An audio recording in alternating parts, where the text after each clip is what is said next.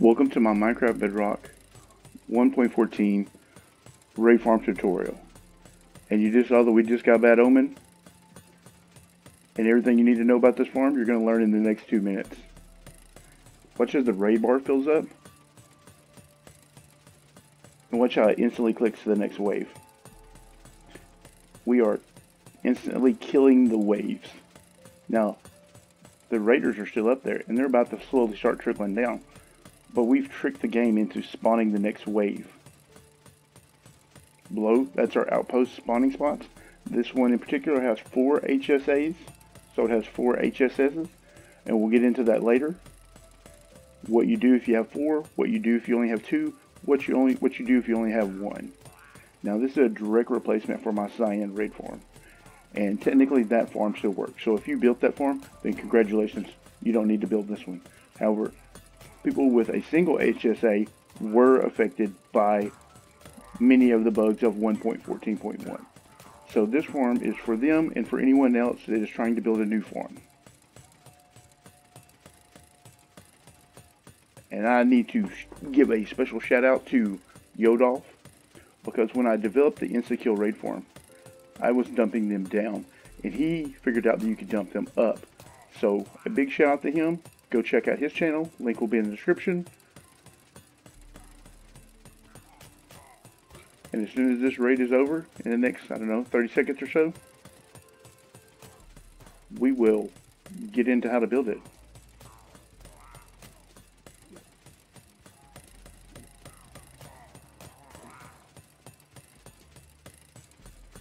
And it doesn't matter the speed that this Trident Killer kills. Because as far as the game is concerned, that wave is already gone. So kill them fast, kill them slow.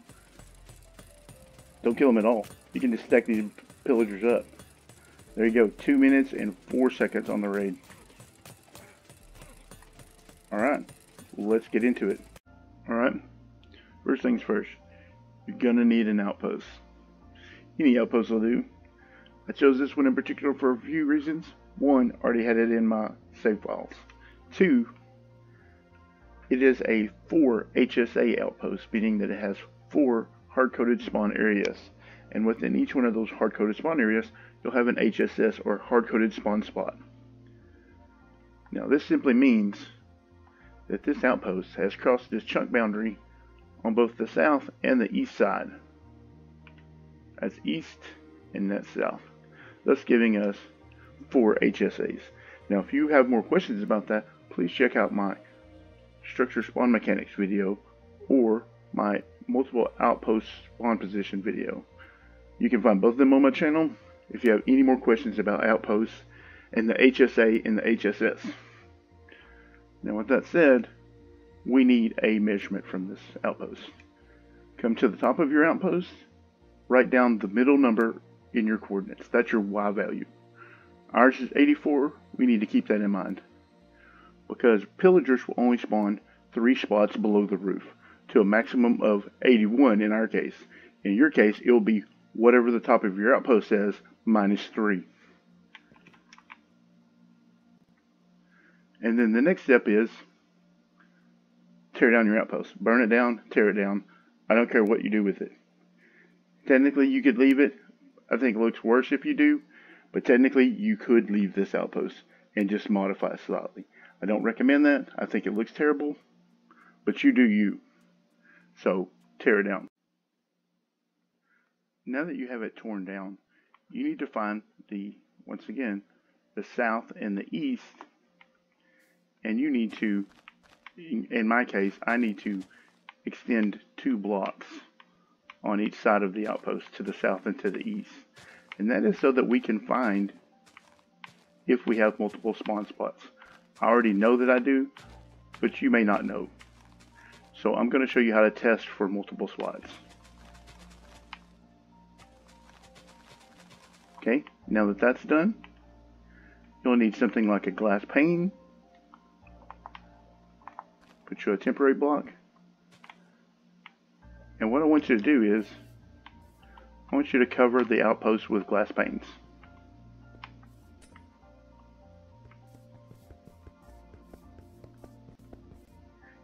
It doesn't have to be the whole entire outpost. You need to start in two blocks from the southeast corner.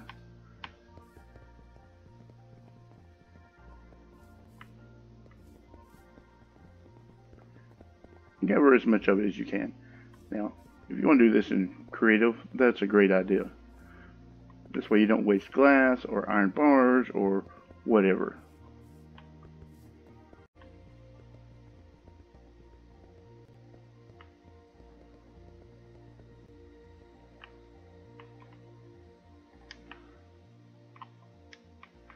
Now that you have it completed, it should look something like this. Now you don't have to go to the absolute edge of the outpost. You just need to do, let's say three-fourths of it. Because you're never going to have them spawn to the north side or the west side. So essentially these last couple of rows are worthless also. But you need to back up 24 to 54 blocks.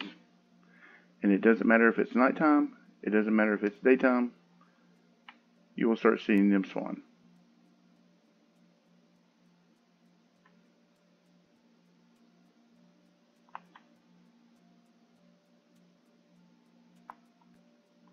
Okay, we have our first set of pillagers. Now keep in mind that mobs spawn on the northwest corner of the block, meaning that they spawned here. So this is actually going to be your spawn spot right here. Let's get us a sword so we can kill this guy.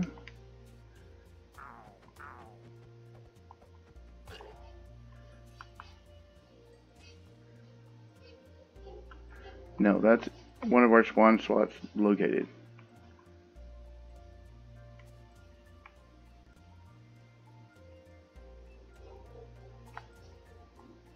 There's some trial and error in this.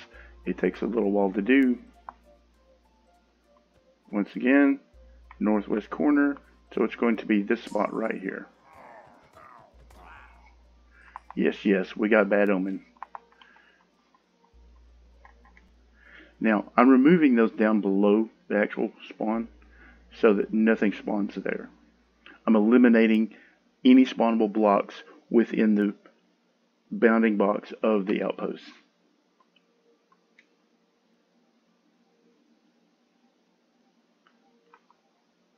Fantastic. Once again, northwest corner.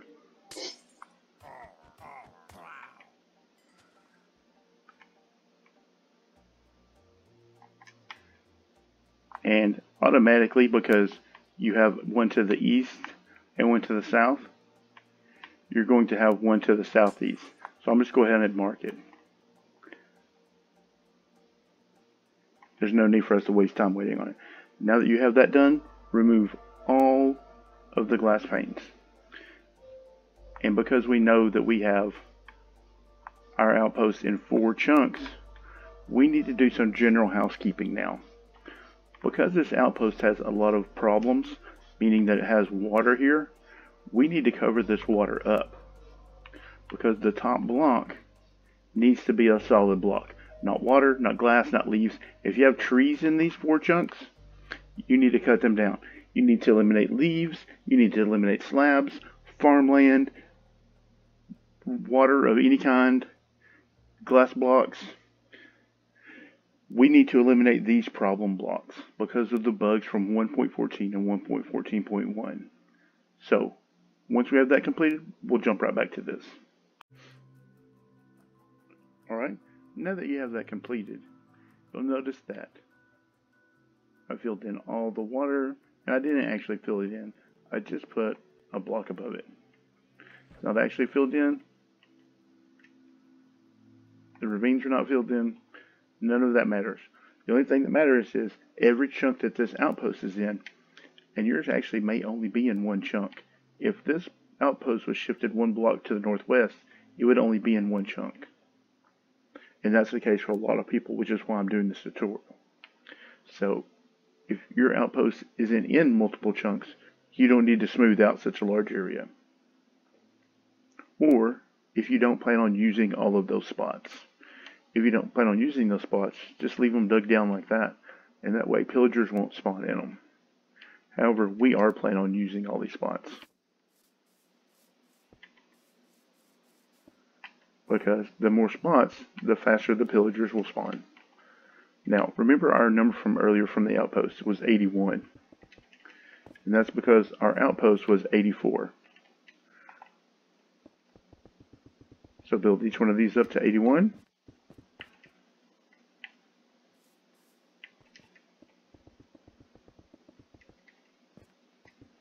Eighty-one, there we go.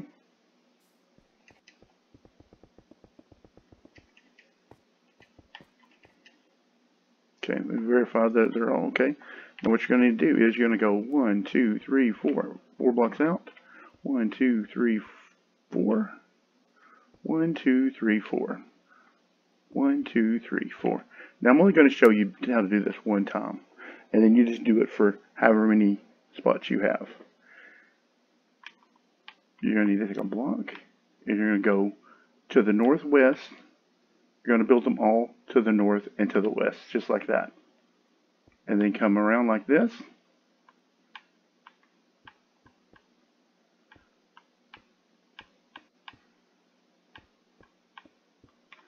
It's that simple. Pull out your observer. And once again, this is a Trident Killer by Navy Nexus. He has many Trident Killers. Some of them are way better than this one. This is an old design. However, it's the one I like the best.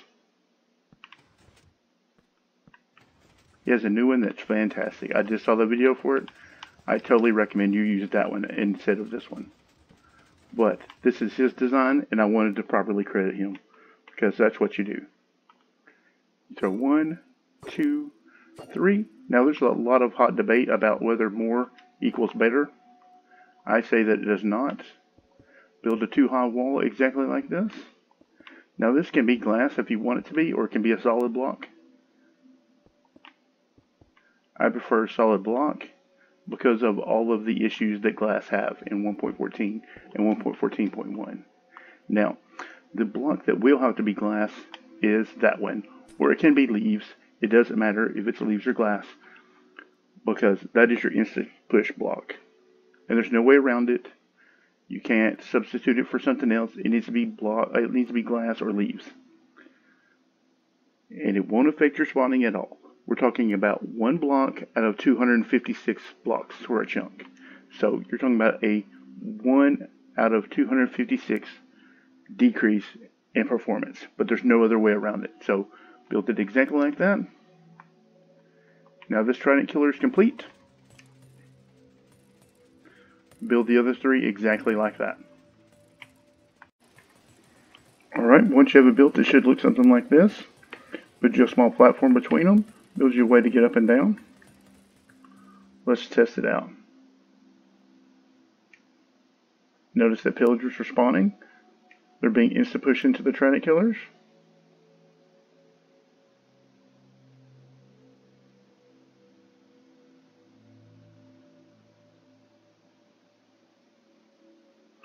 Seems like it works.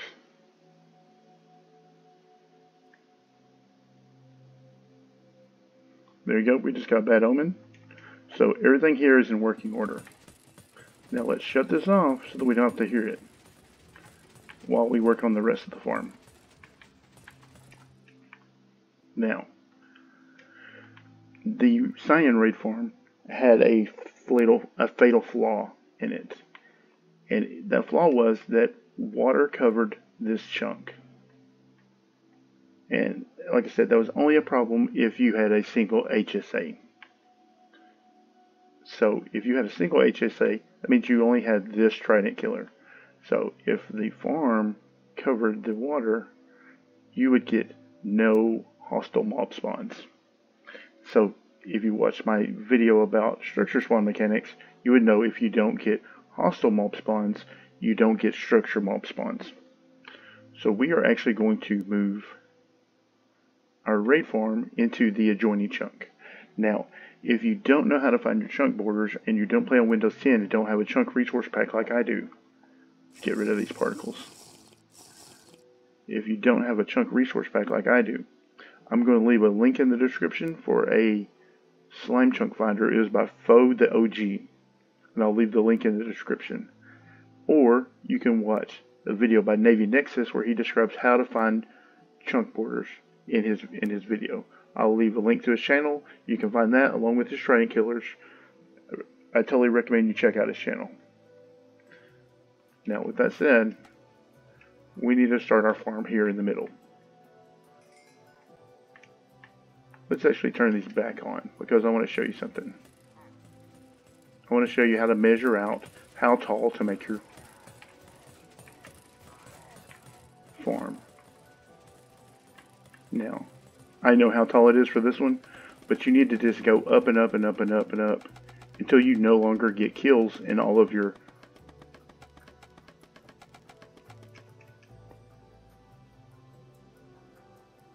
Now we need to watch for new kills in those farthest two. Notice that nothing is spawning in them. Nothing is spawning in any of them because we're too far away. There is a sphere of between 24 and 54 blocks surrounding the HSSs, the hard-coded spawn spots. So we need to be within that sphere. So I recommend that you go up too high so that you can come back down until you start seeing spawns inside of your trident killers. Now, notice that we started getting spawns in the front too. Gonna just drink a little milk here. Get rid of that.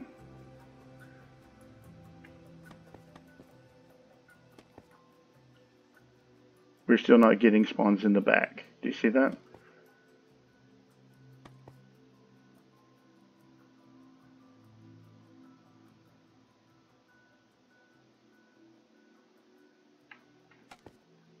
This is how you measure it out.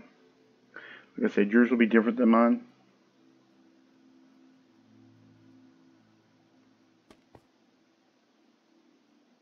Okay, you see that? We're starting to get spawns in the back.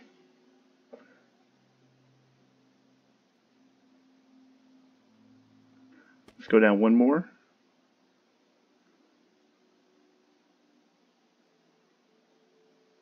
Okay, now we're getting spawns in both of the back spots. That's what we needed to see. Alright, now that we have the, height determined, we should actually move it down one more. It's actually approximately 41 blocks above. Now, once you have that determined, we should actually start building the trident killers.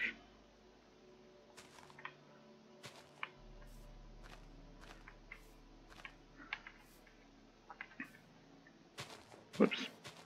Okay, that will be the base of our trident killer right there.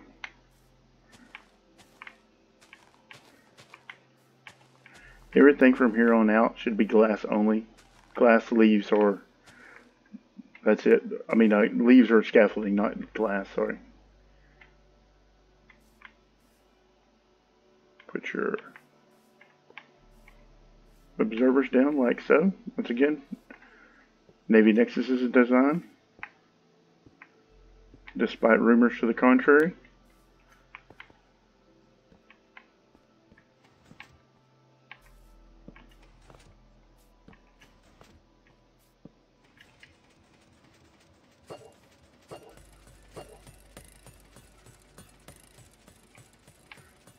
Let's turn it off so we don't have to hear it.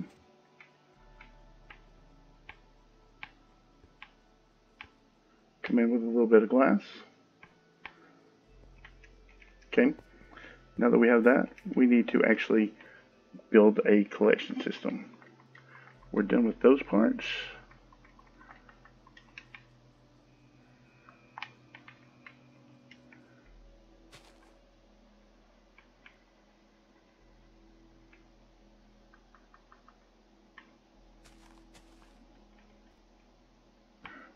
A chest like that.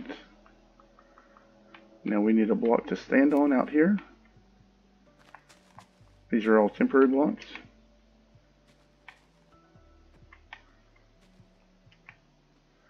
They are just for us to stand on. Just like that. Rails.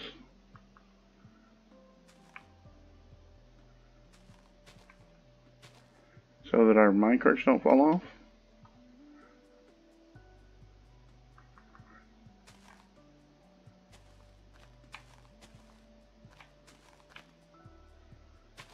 just like so. Get rid of that. Now, how you do the collection system from here is your choice.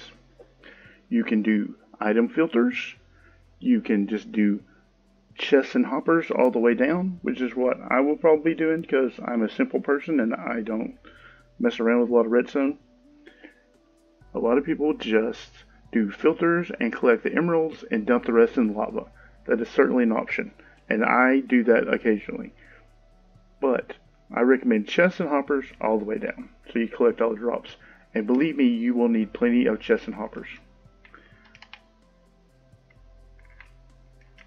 Now, take note of your Y value here, 122. So we need to go up to 142. We need to go up 20 blocks.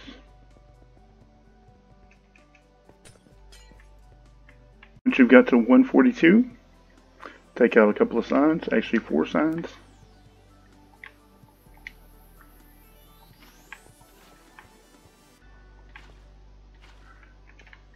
And just place down a couple of water buckets. Get rid of your water buckets. Now, all of this glass can actually be solid block. You don't actually have to do it. And you don't actually have to do the corners. So, let's take those out just to save blocks. However, if you don't do those corners, you need to not do them all the way up. That will save you a ton of blocks. Now I know what you're thinking. You're thinking, what about Ravagers? They'll clip through if you don't do the corners. Well, that's fine because we're not going to have Ravagers. We're going to kill the Ravagers with lava because we don't need all those saddles. So, remember that you were at 122 here. We need to add 12 to that because that will be the height of our villager. So it will be 134. So plus 12 from here will give us 134. And then from 134, we need to think about 80 blocks up. So 134 will be actually 214. So we need to extend this up to 214.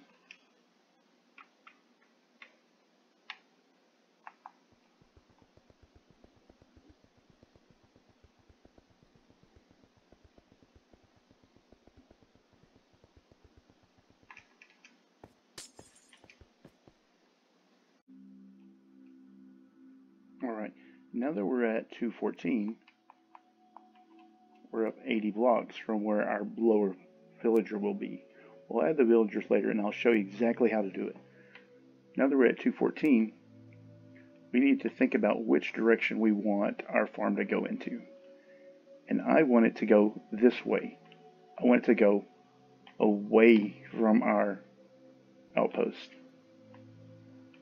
So add that block right there, then go out one, two, three, four, five, six, seven. One, two, three, four, five, six, seven. Connect these like this.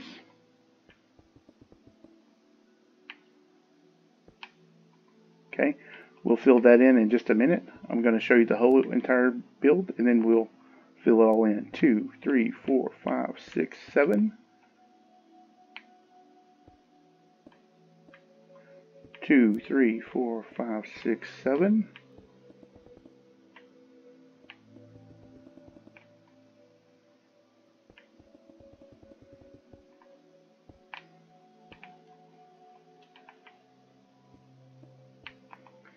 Two, three, four, five, six, seven.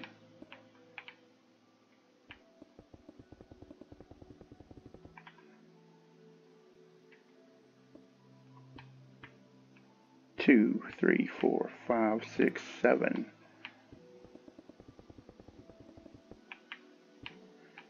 And we'll do that one more time.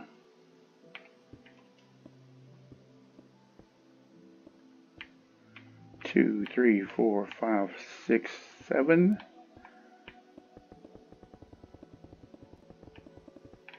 Now we don't want any part of our water stream to be into our outpost chunks which is why we decided to do it this way.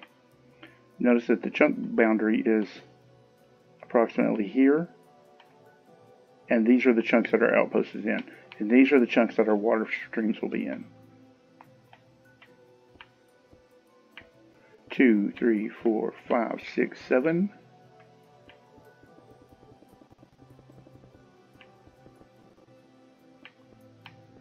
Now, addition to filling in each one of these platforms, I need a three high wall.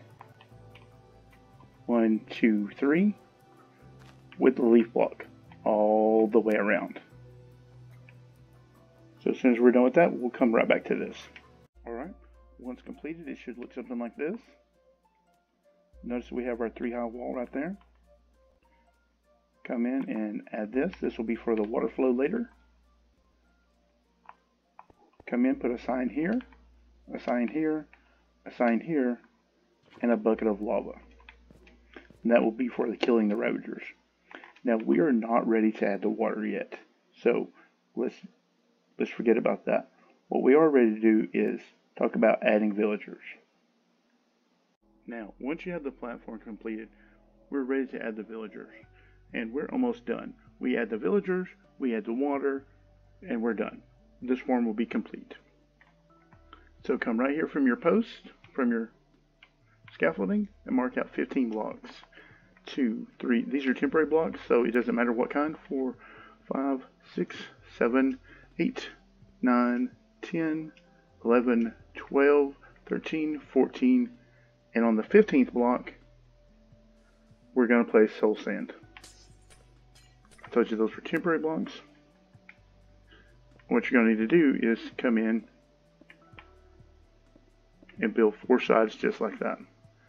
Break out your signs, put two signs,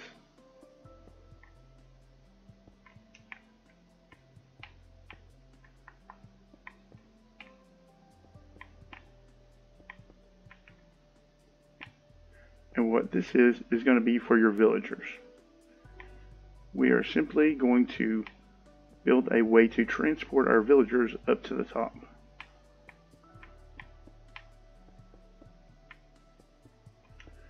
Now you will need two villagers. They will need to be adult villagers because baby villagers have a tendency to glitch out. Now get your scaffolding and build it up like that what you're going to need to do is get buckets of water or ice blocks or whatever. But we're going to need to make a bubble column. Now, you're going to keep building this up just like this. Add a water layer all the way up to the platform. Now, once you have your bubble column to here, what we need to do is come up an additional four blocks.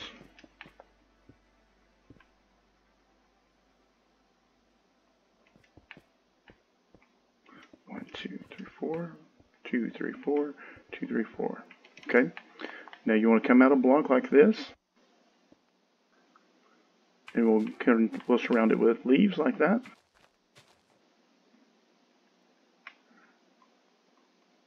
Finish filling in this bubble column.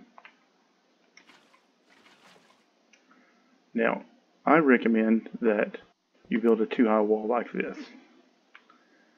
I recommend that you give him somewhere to go so that he can find the bed. Now, once it's nighttime, we're going to send our villager up.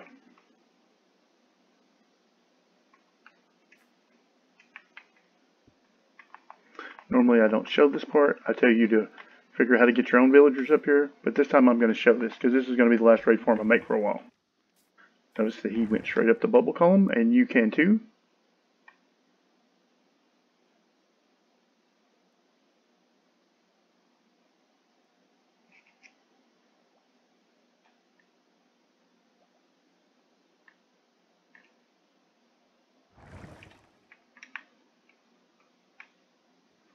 He will link to his bed and get in it.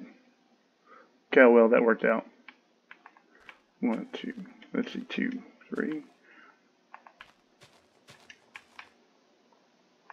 One, two, three, one, two, three, one, two, three, one, two, three, one, two, three, one, two, three, like these, one, two, three, and then of course cover him up. These have to be leaves, otherwise raiders will spawn on them.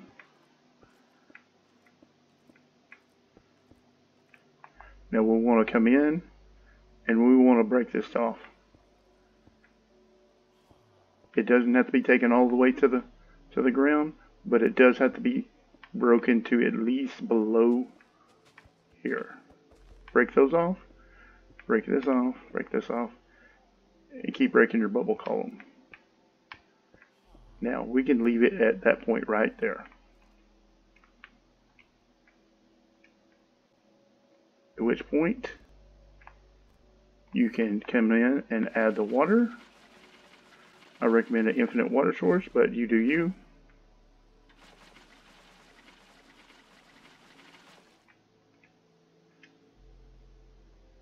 This will push all of our pillagers to here.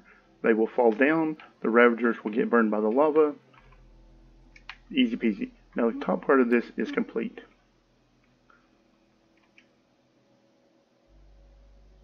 We need to remember our platform height. It's 122. So we need to be within 12 blocks vertically of our bottom villager. So no higher than 134. Let's turn it back to daytime so that we can see.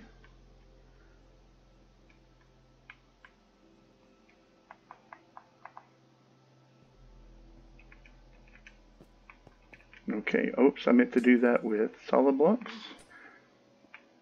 Okay.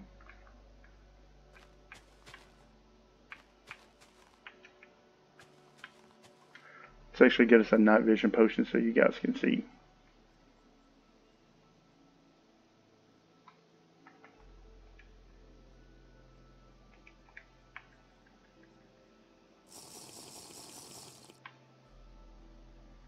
We're going to want to put some bed right here.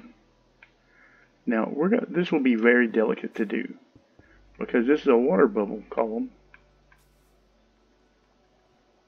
You should go in and place one there, one here, one here, like that. And please don't let it knock you off because it will. There you go like that.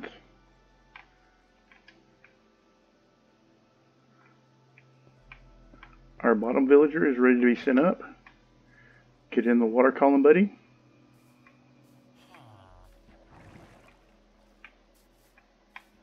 You can follow him right on up. Now, if it's lucky enough for you to be night like it is for me,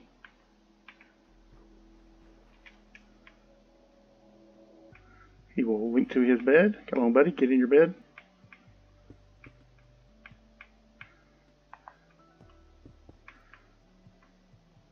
You know you want to. Get in your bed. There you go.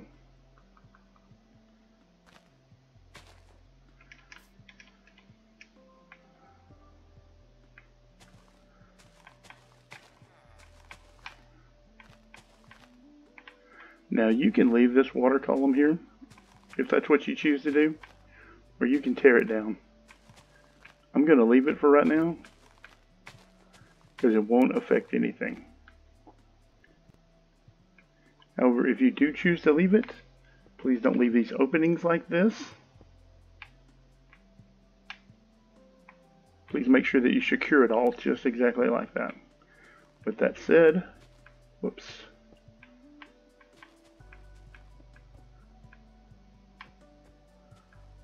Break all those blocks under his bed, which is why you don't want baby villagers because when they grow up they will glitch out.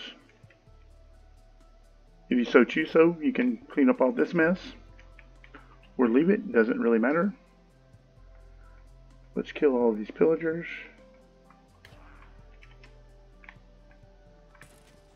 And I did that simply because I don't want bad omen the second I'm right here. Let's go up to our platform. Turn this Trident Killer on.